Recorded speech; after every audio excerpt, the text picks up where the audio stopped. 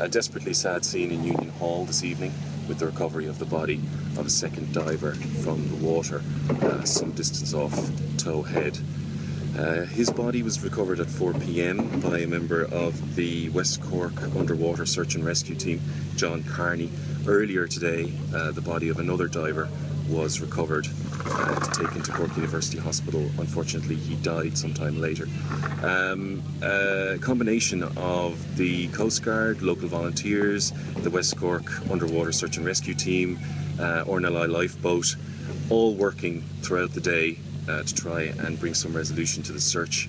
Um, it was at 4 o'clock when the body of the diver was recovered in 43 metres of water. Um, I suppose at 3 p.m. this afternoon, um, with the help of the, Ar- the RNLI Baltimore and the Toe Head Coast Guard boat, we went to um, perform a dive on um, U260 um, where a casualty was last seen missing. And so, approximately maybe 12 minutes into the dive, um, we went off the wreckage on um, um, the southwest direction and we came across the casualty in approximately 43 metres of seawater and so we brought the casualty to the surface and with, again with assistance of the Coast Guard and, and uh, the lifeboat um, we brought him back here into Union Hall.